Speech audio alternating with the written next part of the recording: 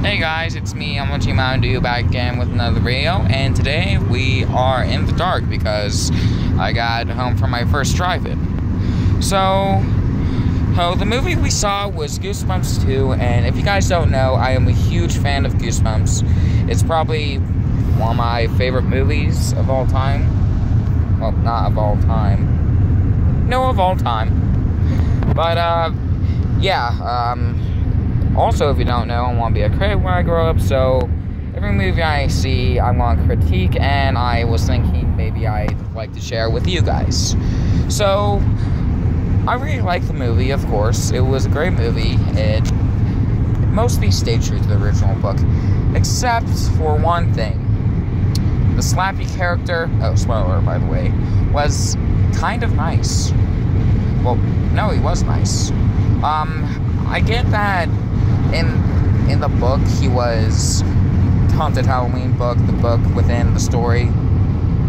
He was um, trying to be a part of their family but what he really wanted was a mother and all that so he was trying to be nice but couldn't they have made him like that jerky brother who still helped them anyway?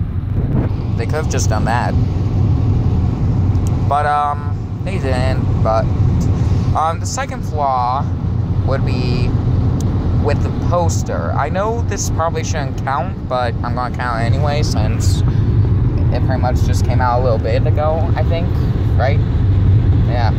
Um, I'm just gonna assume that.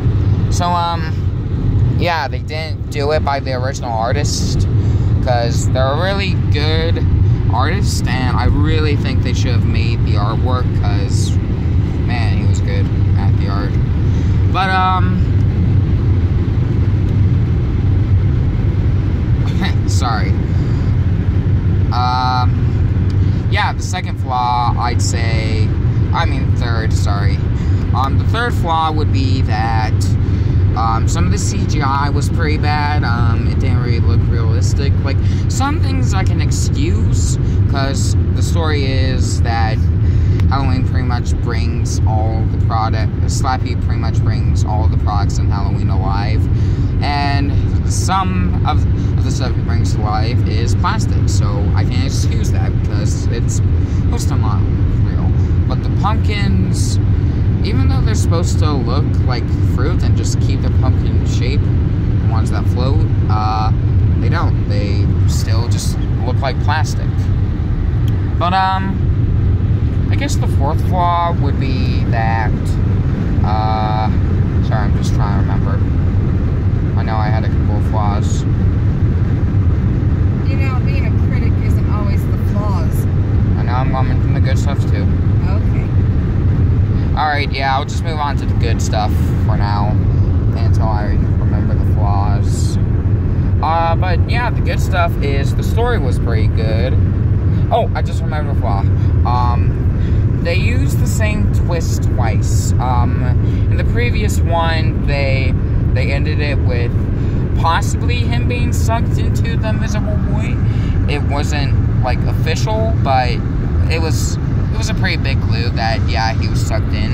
And this one, they pretty much just did the same thing. Although this time you do get to see it, and it did look pretty cool.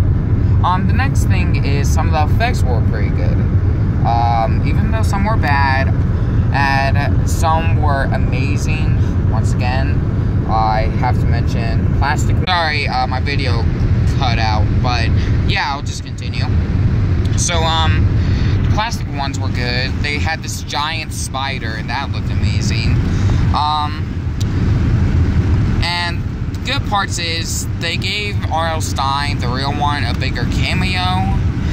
And as well as that, they actually got some preteens to play it, other than college kids because that's never how it worked in the original story.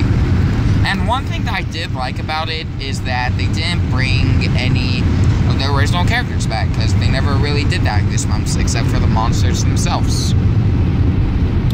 Um, but yeah, they also did not ignore the previous story as well. They still brought it up. Um, yeah, I also like some of the now and day reference, but also past references to the previous movies, like like it, for example. It made a cameo with a balloon, and Jack Black, heck, who was playing R.L. Stine, said, I knew I came with, up with that first. So that was a good scene. Um, yeah, there's so many, but, uh, but yeah, I want to keep this video kind of minimum. So I'm going to end here. If you guys enjoyed, please hit a big fat thumbs up. Subscribe if you haven't already. I'm going to make more of these soon, so see you amigos. Stay awesome.